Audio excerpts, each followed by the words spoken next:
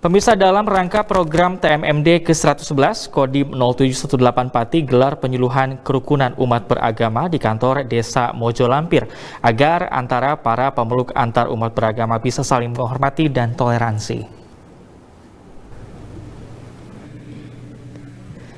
Kodim 0718 Pati gelar sasaran non-fisik program TMMD ke-111 dengan kegiatan penyuluhan kerukunan umat beragama di kantor Desa Mojolampir, Kecamatan Jaken. Dalam kegiatan tersebut, Kapten Infanteri Jubaidi, perwira koordinator kegiatan dari Kodim 0718 Pati mengatakan, kegiatan penyuluhan kerukunan umat beragama bertujuan untuk menambah wawasan kepada warga setempat menyikapi keberagaman agama yang ada.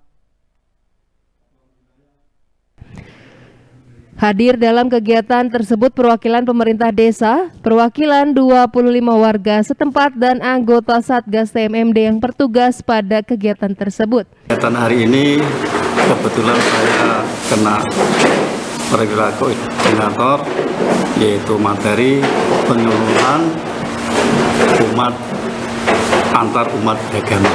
Harapannya uh, supaya antar umat beragama di Indonesia di Indonesia ini bisa selalu menjaga toleransi umat beragama dengan saling menghormati dan menghargai antara pemeluk agama.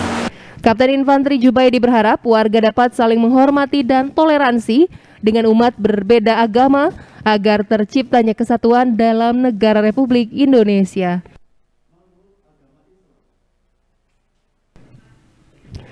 Tim Liputan Bandung TV